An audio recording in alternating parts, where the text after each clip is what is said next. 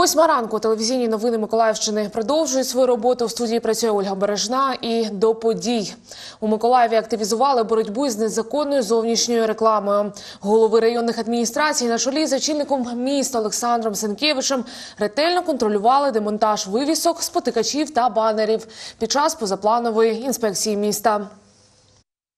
Ну где? Вот вы, вы, вы подтвердили. Где мой баннер аренды? Я не могу понять. Посмотри. Он сегодня утром еще висел там. Така реакція підприємців на оперативний демонтаж неузгоджених рекламних вивісок. Згідно з законодавством, всі інформаційні щити, які площиною понад 3 квадратних метри, це реклама, якої у Миколаєві і так вистачає. Але не всі за неї платять. Забор тут комунальний. Паркан цей комунальний, все, що висить, комунальне воно якби. Ми маємо спеціальні зміни, прийняті рішенням виконкому. Ми можемо демонтувати це без рішення виконкому, м'які розтяжки котрі. Тому що по кожній ось такій вивісі збирати виконком – це буде суцільний кошмар. Оперативний штаб розпочав інспекцію з Заводського району. Саме тут, неподалік від зупинки, почали падати рекламні конструкції.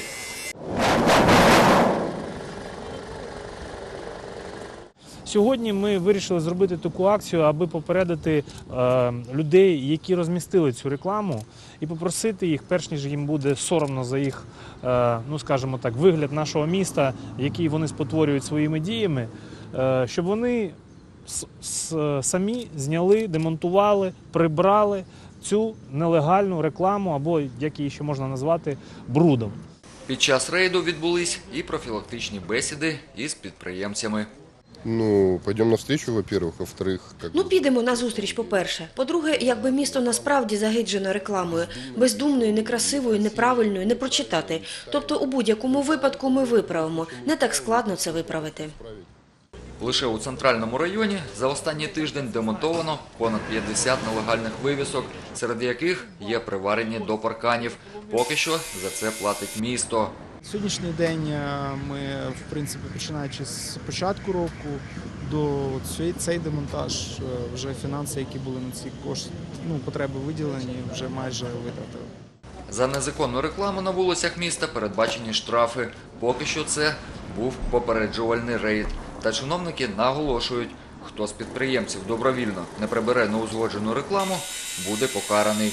Є адмінштраф. Є адміністративний штраф за порушення правил благоустрою. Для фізичних осіб приблизно 300-700 гривень, для юридичних 750-1600.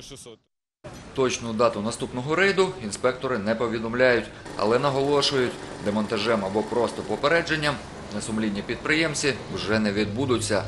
Олександр Гордієнко, Ігор Чорний, телевізійні новини Миколаївщини. Металеві одну та дві гривні Нацбанк веде в обіг 27 квітня цього року. Наші київські колеги на власні очі побачили, як карбуються новенькі монети. Один з 18 карбувальних комплексів банкнотно-монетного двору, який карбує обігові монети. Сріблясті заготовки без малюнку. Працівники кажуть, що вони постачаються за кордону, потрапляють цим конвейером до цього апарату. Тут же робиться відтиск зображення, а от звідси вже випадають нові монети. Ці, наприклад, номіналом о 2 гривні. Один такий карбувальний комплекс за день може викарбувати більше як 200 тисяч монет. За якістю карбування стежать працівники банкнотно-монетного двору. Тобто я не набираю повну коробку, цю не набираю. Я, ну, щоб не багато було. Дивлюся нормально, я його викидаю в контейнер. Якщо воно, наприклад, я бачу, що там сміття яке то пішло, я виключаю станок і цю невелику я відсортовую його, я його просто викидаю в брак, знімаю і протираю все оснасткою. Історичні постаті, які викарбовані на монетах, відповідають аналогічним купюрам. На двох гривнях, наприклад, Ярослав Мудрий. А от візерунки для лицевого боку монети розробляли спеціально, розповідає головний дизайнер банкнотно-монетного двору Володимир Дем'яненко. В основному це символ гривні, як такої. Потім символ пекторалі, потім символ пояса, потім символ підкови, як кажуть, на щастя. Е, Якщо вона була перевернута такою стороною, то щастя у нас не буде. Нові викарбовані монети складають ось у такі брикети по 50 штук у кожному. Потім їх завантажують у великі бокси і ними вже доправляють до сховища Національного банку. Замінити монетами планують і купюри по 5 і 10 гривень до 2020 року. Металеві 1 та 2 гривні Нацбанк введе в обіг 27 квітня цього року. Заміна банкнот монетами допоможе заощадити мільярд гривень, кажуть у Нацбанку, адже купюри зношуються за рік, а монети за 20. Міняти старі купюри на нові монети не конче. Ними і далі можна розраховуватися за товари та послуги. Однак Національний банк все ж припинить друкувати банкноти, тож поступово нові монети все ж замінять паперові гроші. Олексій Гомон, Вадим Томофєєв. Новини на першому. І наразі це все. Зустрінемось з вами о 8.30. Обов'язково дочекайтесь.